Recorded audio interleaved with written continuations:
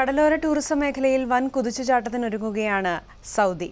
മീൻപിടുത്തവും scuba ഡൈവിംഗും അടക്കം നിരവധി വിനോദസഞ്ചാര പരിപാടികളാണ് ജിദ്ദയിലെ ബീച്ചുകളിൽ സഞ്ചാരികളെ കാത്തിരിക്കുന്നത്.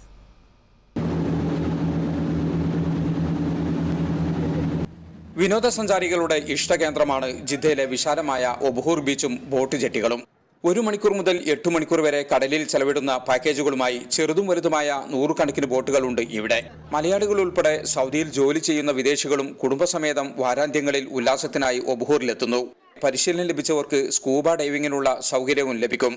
നല്ല കാറ്റായിട്ട് ഞങ്ങളുടെ ബോട്ട് ആഴക്കടലിലേക്ക് യാത്ര ചെയ്തുകൊണ്ടിരിക്കുകയാണ്. കോസ്റ്റ് ഗാർഡിന്റെ പൂർണ നിരീക്ഷണത്തിൽ എല്ലാ സുരക്ഷാ മാർഗങ്ങളും സ്വീകരിച്ചു വേണം കടൽ യാത്ര നടത്താൻ. ജിദ്ദയുടെ വടക്ക് ഏതാണ്ട് ഇരുപത്തിയഞ്ച് കിലോമീറ്റർ അകലെയാണ് ഒബുഹൂർ ബീച്ച്. ബോട്ട് വിൽപ്പന സർവീസ് സെന്ററുകൾ സ്കൂബ ഡൈവിംഗ് പരിശീലന കേന്ദ്രങ്ങൾ റിസോർട്ടുകൾ ഷോപ്പിംഗ് സെന്ററുകൾ റെസ്റ്റോറന്റുകൾ തുടങ്ങിയവയെല്ലാം ഒബുഹൂറിൽ സജ്ജീകരിച്ചിട്ടുണ്ട്.